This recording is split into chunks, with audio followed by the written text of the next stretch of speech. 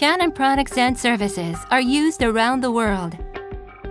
Through our research and development, Canon aims to create new value.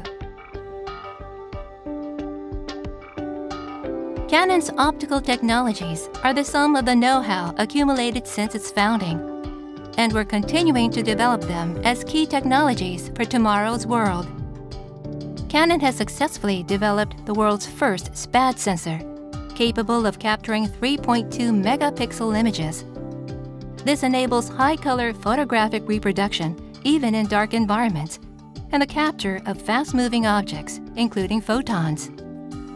Canon has cultivated its image processing technologies through development of digital cameras and printers. Canon is also applying its image processing technologies to such fields as healthcare. Our next generation X ray CT system with photon counting detector technology delivers clear pictures with far lower radiation dosages.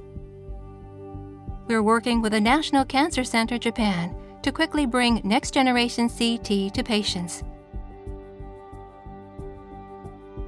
Canon also conducts materials research.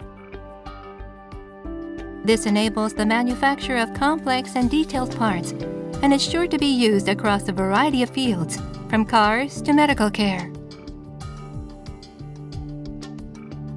In semiconductor lithography equipment too, Canon is developing new technology.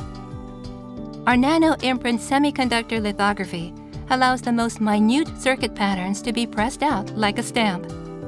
This technology reduces circuit line width through a simple process that minimizes running costs and greatly reduces power consumption.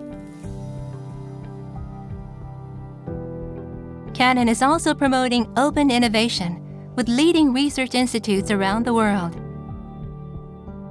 Canon is creating new value through technology.